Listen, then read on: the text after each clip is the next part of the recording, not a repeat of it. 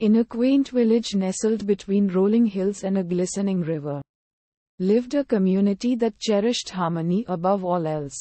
The villagers were known for their warm smiles, helping hands, and most importantly, their unwavering respect for one another. They believed that respect formed the foundation of their peaceful coexistence. At the heart of the village stood an ancient oak tree, its branches stretching towards the sky like outstretched arms, creating a serene canopy. Underneath the shade of this magnificent tree, the villagers would gather to discuss matters of importance, share stories, and celebrate their traditions. This tree was a symbol of unity and respect. One day, a traveler named Leo arrived in the village. He was a man of many talents, boasting of his skills in music, storytelling, and painting. The villagers welcomed him with open arms, eager to learn from his experiences and talents. Leo quickly became the center of attention, captivating everyone with his mesmerizing tales and enchanting melodies. As time went by, Leo's ego began to inflate.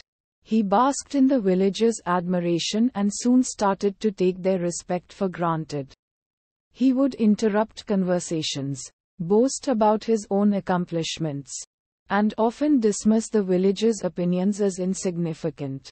The once harmonious village atmosphere began to wane as Leo's arrogance cast a shadow over the spirit of respect that had always thrived there. The village elder, a wise woman named Elara, noticed the growing discord and realized that Leo's behavior was causing fractures within the tight knit community. Determined to restore the village's harmony, she devised a plan. Elara invited Leo to perform at the Grand Oak Tree Gathering, a special event where the entire village would come together to celebrate their shared values.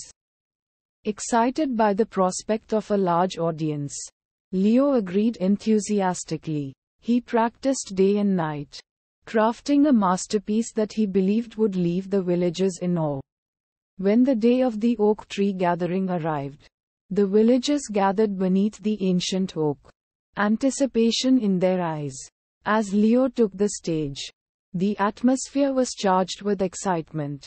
However, as he began to play, an unexpected thing happened. His music was harsh, discordant, and lacked the soulful melody that had once captivated everyone. Confused, Leo struggled to continue, his ego crumbling as he realized that he was failing to elicit the applause he had grown accustomed to. Amidst the dissonance, a young girl named Mia stepped forward, holding a simple wooden flute. She stepped into the spotlight, her fingers dancing gracefully over the flute's holes. A gentle, melodious tune filled the air, instantly capturing the hearts of the villagers. Soon, others joined in, playing their instruments and creating a harmonious symphony that resonated with the essence of the village, unity and respect. Leo watched in awe as the villagers played together, each note a testament to their shared values. He felt a pang of regret for his arrogance and realized that true respect wasn't earned through boasting or showmanship, but through genuine humility and appreciation for others. After the performance, the villagers approached Leo, their smiles warm and forgiving.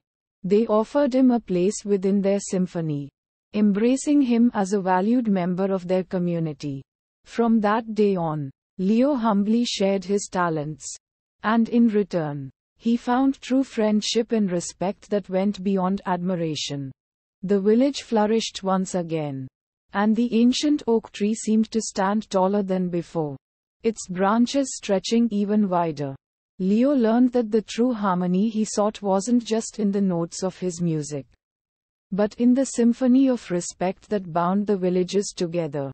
And as the years passed, the village continued to thrive, its legacy of respect echoing through generations, reminding all who heard the tale that true greatness is found in the embrace of humility and pay. harmony of mutual respect.